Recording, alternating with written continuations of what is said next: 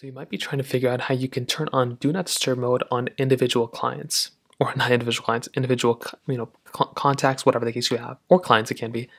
To do this, what you want to do, you want to go ahead and do one of two things. For one, if you want to go and make your way over to your messages, and this is particularly for a message, you know, person that you're trying to message, you can make your way over to your messages just like this, and you can open up your specific message person that you want to go and, you know, basically turn on do not disturb for.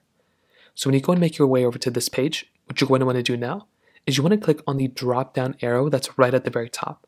So you can see a little arrow here. If not, you can just tap on their name or your contact information right here, and then you'll see this specific thing come up. Now right here, you'll see hide alerts.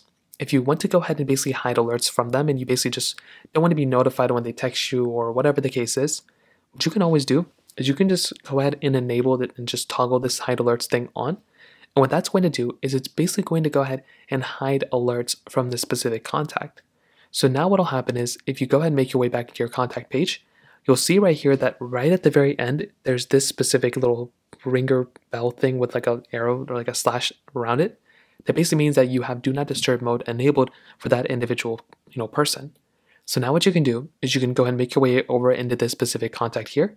You can go ahead and tap on your specific contact name up there again, if you want to turn it off, you can go and just turn it off by tapping on that arrow once more, and you can turn off that specific thing right there. So that's another option you have too. So that's pretty much how it's done. It's a super, super basic process. If you have any other thoughts or questions, let me know in the comment section below. Hit the like button, that would mean so much, but definitely hit that subscribe button. More importantly than everything else, I love every single one of you guys. Hopefully I'll catch you guys in the next video. Peace out till then.